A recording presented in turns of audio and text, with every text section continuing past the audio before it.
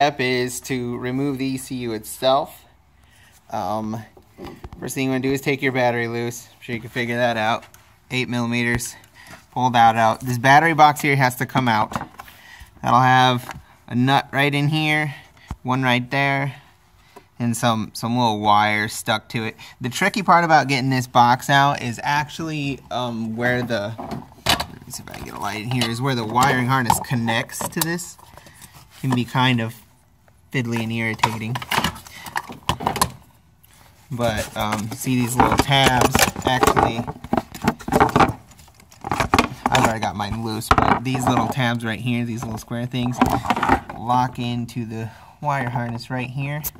And those are kind of a pain in the butt to get out. You'll think the battery box is stuck, but it isn't. Keep fiddling with it. Pry on it with some screwdrivers, you'll get it. Your ECU is right there against the firewall. Um, that's already my new one, but um, there'll be four bolts in it. One, two. The bottom ones, they're down there. You'll see them. They'll be in roughly the same location.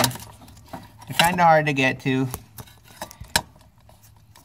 Yeah, they're there somewhere. Trust me. But um, yeah, you can get them. They're all 10 millimeter. Um, to disconnect the ECU, you see these big pull tabs. You just fingers back there, pull it forward towards you, and that'll loosen this. Uh, that'll loosen this connector here. I'm not gonna take my back out, but you get the point. But uh, I found it easier that the bottom, the bottom connector the wiring was kind of pulled tight and it was sort of hard to get off of there until I had loosened the bottom. If I loosened all the bolts and then uh, freed the ECU and it uh, made it easier to get that connector off of there. But yeah, there you go. That's where your ECU is and how to. I can't really show you. It's um, you're gonna have to call your locksmith or take it into the Ford dealer. I found a locksmith locally. Uh, actually, not locally. He had to travel a bit, so but they charge, you know, around probably 120 to 175 dollars, depending on your location. They'll come out, they'll do a parameter reset on this, and then program your new keys in, and the car should be ready to run as long as you did everything right. But that's pretty much it. Go, all back together.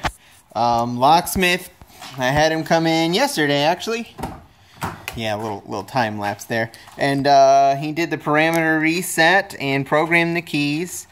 Um, that's the key I had with the car originally. And this is the janky Amazon key that I had cut at Walmart.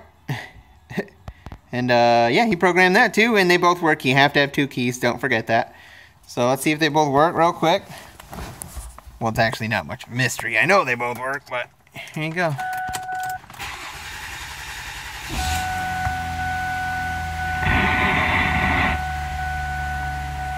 There you go. And it's alive.